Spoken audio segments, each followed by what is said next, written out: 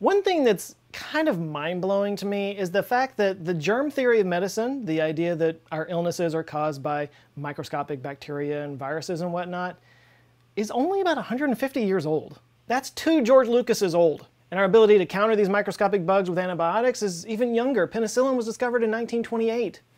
That's six years younger than Betty White. But yeah, pre the United States Civil War, medical theory was dominated by the idea of humorism, the idea that there's four different humors in our body, and our illnesses are caused by imbalances in those humors. The humors in question were yellow bile, black bile, phlegm, and blood, and the treatments that were designed were done to increase or decrease the levels of these humors. Sometimes that meant potions or teas, and sometimes this meant just getting it out of the body in the form of bloodletting. Bloodletting was prescribed for basically everything. Headache, cough, upset stomach, you name it. It was like the go-to thing that they did first. First things first, try a little bloodletting. If that doesn't work, you know, try something else. And if that doesn't work, uh, try some more bloodletting. Luckily, that never killed anybody. Okay, it never killed anybody famous.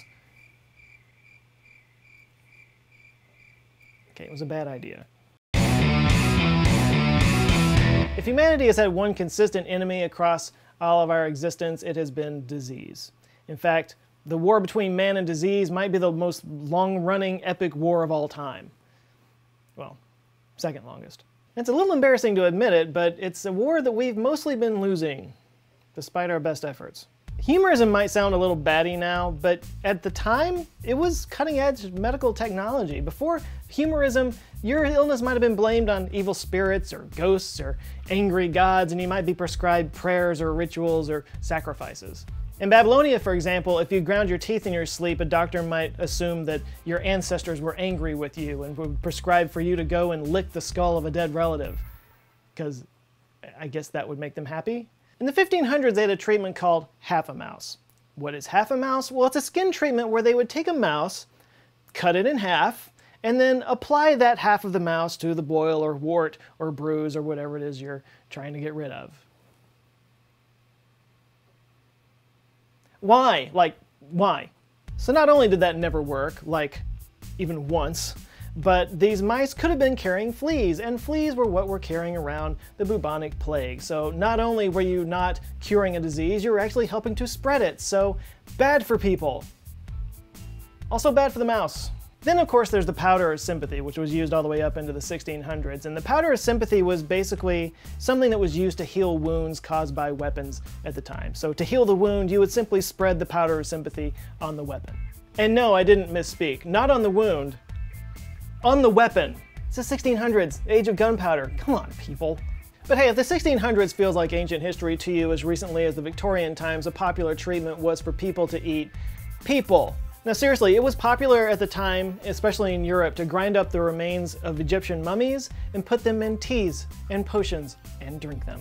Now this actually became a problem. There were black markets that sprang up around archaeological digs and museums in Egypt and the Middle East where people were pilfering mummies for this purpose. These were not only important historical artifacts, but they were also, you know, like real people that lived thousands of years ago. Countless remains were just ground up and consumed. Old medicine bad, you get it. Considering all that, it's actually surprising how much they did know. At the New York Academy of Medicine, there's a papyrus scroll from ancient Egypt that gives us a good idea of what they did actually understand about the human body. Turns out they had a basic idea of how infections work, the purpose of the heart, the effects of brain injury, and the importance of sterilization. This particular scroll also details 48 separate medical cases and the treatments that were used for each one of them. As James Allen, former curator of Egyptian art at the Metropolitan Museum of Art, said, what they knew about the body is quite striking, though they did not always understand it. So despite all these crazier treatments that I was just talking about, they did manage to get some things right. I mean, after thousands of years of just trial and error and trying different things out, eventually something's going to work. And some of those ideas are still in practice today. Number one, don't throw that out. Now I mentioned penicillin earlier. Most people are aware that Alexander Fleming discovered penicillin through a type of mold, but he's not the first person to use mold to cure diseases. Used as far back as the 1500s BCE, Egyptians treated festering wounds with what they called infected barley bread. And then a few centuries later, the Chinese, the Greeks, and the Serbians all had created different various types of molds to treat skin infections. There are documented cases of ancient Romans and even medieval jousters using a similar technique to treat wounds. Now, although not nearly as effective or safe as using straight penicillin, this technique did make a difference. It actually cut down on the death rate of infections, and this was at a time when the smallest cut could lead to an infection that could kill you.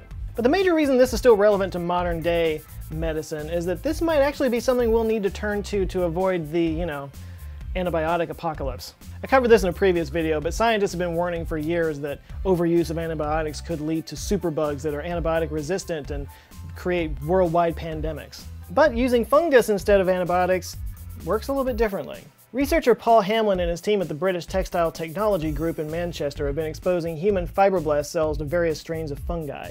Fibroblasts are the key to the healing process and lay the foundations for scar tissue to form. Hamlin's research has shown that the fungi rich in chitin, a structural polymer in the fungal cell walls, uh, acts as sort of a chemical scaffolding, attracting and anchoring the fibroblasts and preparing for the next stage of wound healing. And a sister compound of chitin called chitosan is oxidized during this process and generates tiny trace amounts of hydrogen peroxide, which is also essential for healing. Now this type of treatment wouldn't completely do away with antibiotics by any means, but it could be an effective treatment for people that are recovering from surgeries. Hamlin and his team are currently searching for partners that can help develop this into uh, wound dressings that have this, this mold in it. But since the mold is pharmacologically active, it's going to take a lot of human trials before this actually hits the market. Number two, this one just sucks. Let's talk about leeches. Okay, remember when I mentioned bloodletting earlier? Uh, they also use leeches a lot. It was just a slightly safer way of removing a patient of all of her pesky blood. But even outside of bloodletting, leeches were used as a treatment for a variety of issues, including tonsillitis and hemorrhoids. Both of those sound horrifying. But as you may have already figured out, leeches are still used today, especially in cases of reattaching a finger or a limb. One of the biggest difficulties in reattaching things is how fragile the blood vessels are and the blood clots that come up during trauma like that. Surgery often requires doctors reconnecting blood vessels only millimeters wide, hundreds of them at a time. It's very difficult work that uses sutures the size of a human hair or smaller, and it's very iffy. The success rate is not great. Leeches secrete anticoagulants that keep the blood from clotting because obviously when you're trying to suck blood out of somebody, you don't want that blood to get all stuck up in your teeth. And this smooth flow of blood is absolutely necessary to make these reattachment surgeries work. Otherwise, without that flow of blood, it'll just decay and die. The prescription of leeches may sound medieval, and, uh, well, it was medieval, but hey, if it works, it works. Number three, baby flies makes them sound cuter. Initially used by Native American tribes hundreds of years before the European invasion, it wasn't until the Civil War that maggot therapy became the new hotness. Soldiers in the Civil War were dying from infections by the thousands, and they began to notice that maggots, which are usually associated with death and decay, were actually saving lives. When they hatch from an egg, maggots are programmed to eat, just do nothing but eat. That's all they do for days after they're born. But when in a wound, what they found out was that they only eat dying and decaying flesh not the living flesh. This greatly sped up the healing process and massively cut down on infections. Confederate physician John Forney Zacharias reported, During my service in the hospital at Danville, Virginia, I first used maggots to remove the decayed tissue in a hospital gangrene and with eminent satisfaction. In a single day, they would clean a wound much better than any agents we had at our command. I used them afterwards at various places. I'm sure I saved many lives by their use, escaped septicemia, and had rapid recoveries. Maggot therapy mostly died out after the discovery of penicillin, but it's starting to make a bit of a comeback. It was actually approved by the FDA in 2004 and has been especially useful in diabetic cases where their skin lesions require rapid recovery and monitoring. Number four, like I need a hole in my head. Trepanation, or the act of boring or drilling a hole into the skull, might be one of the oldest surgeries in our history. In fact, there's proof of this surgery going back all the way to Neolithic times. And it doesn't stem from one area either, from Egypt to Europe to China to Mesoamerica. It seems to be all over the place and surprisingly common. Out of all the Neolithic skulls that we've collected, between 5 and 10% seem to show signs of trepanation involved, and in most of these cases, they think that these people volunteered to do this. Cool. Yeah, but, you know, I mean, why? It's thought that this was done to relieve pressure on the brain. Most of these cases, it looks like it was done with very surgical and precise uh, tools, and in a lot of cases, it looks like the wound might have actually healed over a little bit, meaning that the patients actually survived the procedure. Hippocrates wrote about trepanation as a treatment for dented or misshapen skulls, but he also promoted it for a variety of reasons. But also, a lot of these look like they were completely non medical reasons. Dude, Neolithic cosmetic surgery was metal. From the late 90s to the early 2000s, 12 skeletons from the Chalcolithic or Copper Age were discovered in southern Russia, and every single one was trepanned in exactly the same place. It's an area of the skull known as the obelion. It's where blood from the brain collects before flowing into its main outgoing veins. This is actually a pretty dangerous area to perform cranial surgery. And what's more is that all the skeletons were young and healthy and seemed to be not burdened by any other kind of affliction. Researcher B.M. Mednikova of the Russian Academy of Sciences in Moscow believes that these surgeries were ritualistic and that the intention of the ritual was to possibly awaken superhuman abilities in chosen members of the tribe. Now, to be fair, in most cases, trepanation seems to have been some kind of a treatment for pain or pressure inside of the skull, or as some kind of emergency last-ditch effort. Today, trepanation is used as a treatment for epidural or subdural hematoma and is now called a craniotomy. Number five, eating poop. Yeah, really.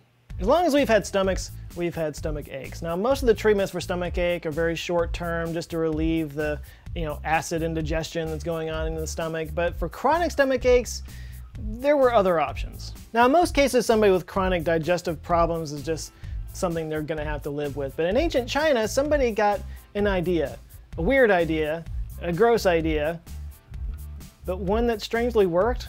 Fecal transplant, also known as fecal bacteriotherapy, is when they take feces, poop, from one person and put it into another person to introduce better gut flora into their system. Strange as that sounds, the science behind it is actually pretty solid.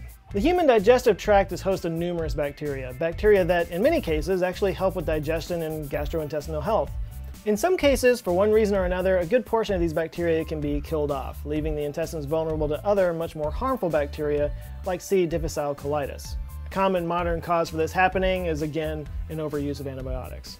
What a fecal transplant does is it changes the bacterial makeup of a person's intestines, allowing it to get back to, you know, business. Now, originally this was done by a person drinking a liquid suspension of another person's fecal matter. Not great and not terribly safe. Nowadays, the donor sample is usually inserted using a feeding tube or through a colonoscopy. I mean, that doesn't sound like much fun either, but if it's a choice between having stomach aches for the rest of your life and, you know, inserting a little poop, do the poop. Now, obviously, by today's standards, a lot of what they did back in the days just seems absurd, but a lot of what they did back then was just taking shots in the dark.